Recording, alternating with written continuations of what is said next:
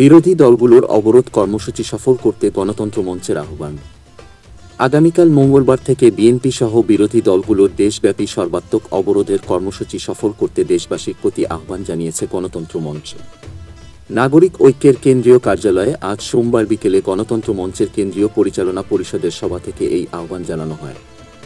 গণতন্ত্র মঞ্চের রাজনৈতিক পরিষদের সদস্য আকবর খান গণমাধ্যমে বিজ্ঞপ্তি পাঠিয়ে এ তথ্য জানান।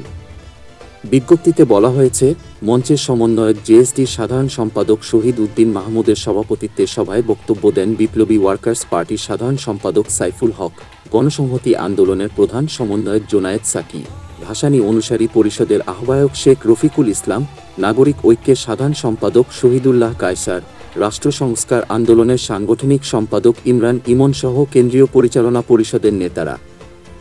নেতারা অভিযোগ করেন সরকার ও সরকারি দল তাদের নীলনকশা সাজানো নির্বাচনের ক্ষেত্র তৈরি করতে বিএনপির শান্তিপূর্ণ মহাসমাবেশে হামলা ও সন্ত্রাসী কর্মকাণ্ড চালিয়েছে।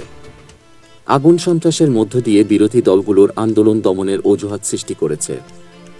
সারা দেশে গ্রেপ্তার ও সন্ত্রাসের মাধ্যমে ত্রাসের রাজত্ব কায়েম করা হয়েছে।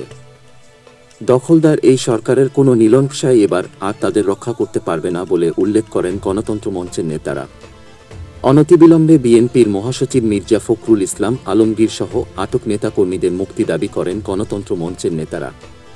তারা গণবিরোধী এই সরকারের পদত্যাগ ও নির্বাচনকালীন নিরপেক্ষ সরকার প্রতিষ্ঠার দাবি জানান।